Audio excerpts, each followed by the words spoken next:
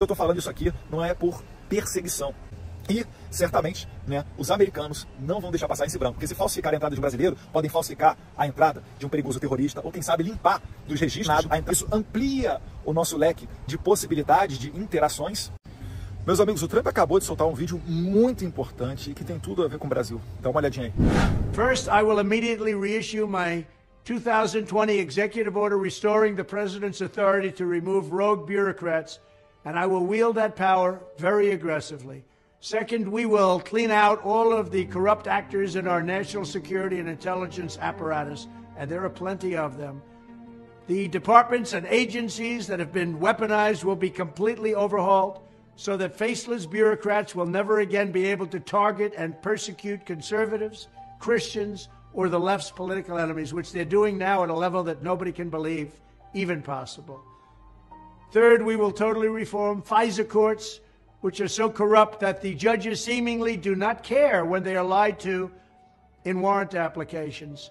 So many judges have seen so many applications that they know were wrong, or at least they must have known. They do nothing about it. They're lied to. Fifth, we will launch a major crackdown on government leakers who collude with the fake news to deliberately weave false narratives and to subvert our government and our democracy.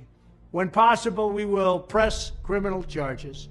Seventh, I will ask Congress to establish an independent auditing system to continually monitor our intelligence agencies to ensure they are not spying on our citizens or running disinformation campaigns against the American people. O que basicamente o Trump está falando é o seguinte, que ele será totalmente severo para acabar com a perseguição nos Estados Unidos, porque acontece no Brasil, acontece também nos Estados Unidos. E o americano, inclusive o presidente Trump tinha essa plataforma muito forte, se preocupa muito com o controle de fronteira, com a imigração ilegal e esse tipo de coisa.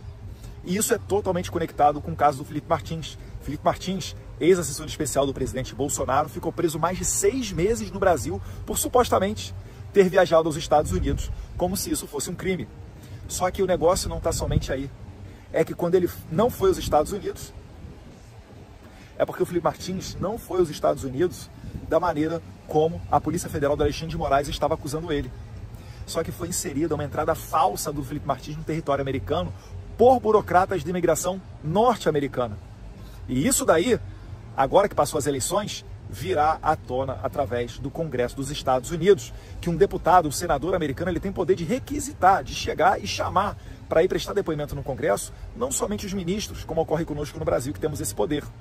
Um parlamentar americano pode chamar diversos burocratas, e eu tenho certeza, pegando as informações corretas, requerendo as informações corretas para as autoridades americanas, achando a pessoa que alterou, que falsificou a entrada do Felipe Martins nos Estados Unidos, a gente provavelmente também chegará nas autoridades brasileiras que provocaram os americanos para fazer essa inserção falsa. Isso daí é crime nos Estados Unidos. Isso daí, a gente está falando que as consequências são muito piores do que apenas a autoridade estrangeira perder o seu visto. Então, vamos acompanhar o desenrolar dos próximos capítulos.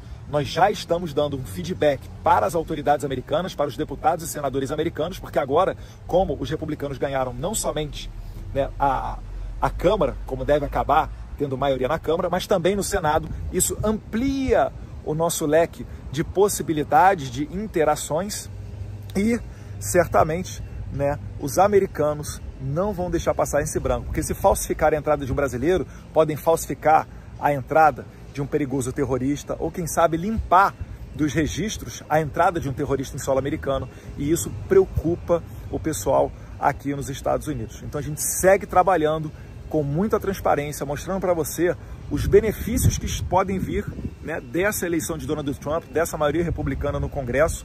E eu estou falando isso aqui não é por perseguição. O tempo não é de vingança, de dar o troco. O tempo é de muita calma, serenidade, sabedoria e de justiça, sem adjetivo. Não é justiça social, justiça de direita ou justiça de esquerda, não. Apenas fazer o correto, o justo, seguir as leis é tempo de liberdade. Do canal, tudo bem com vocês?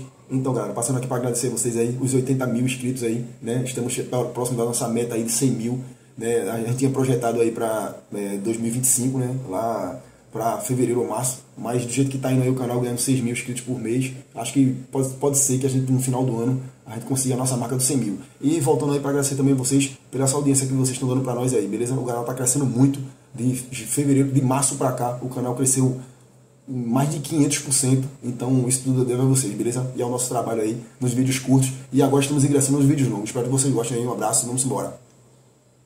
A culpa é sua.